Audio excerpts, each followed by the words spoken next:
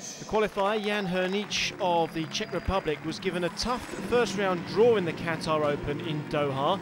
He was up against the number two seed Richard Gasquet of France. Hernych had come through three rounds of qualifying without dropping a single set. That might explain why he didn't crumble early on in this match. Gasquet broke first to lead 4-2. Hernych broke straight back to bring the score back to 3-4. Gasquet wobbling with a double fault.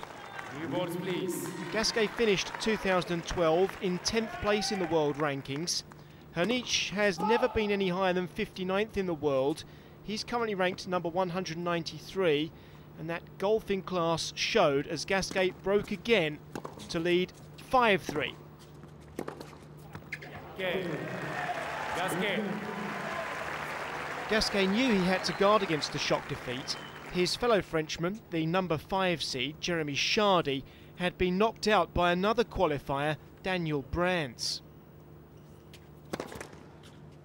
Gasquet, serving for the first set at 5-3, had to hold his nerve on a second serve.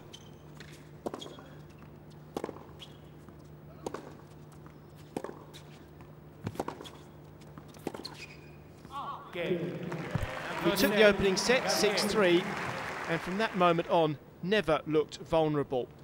He broke the Hernych serve in the opening game of set number two. Gasquet. And Gasquet went on to make the most of that momentum. Hernych only briefly looked threatening by coming into the nets. Gasquet's experience seeing him through. He served for the match at 5-4 and clinched it 6-3, 6-4, setting up a clash with Grega Žemlja of Slovenia in the second round.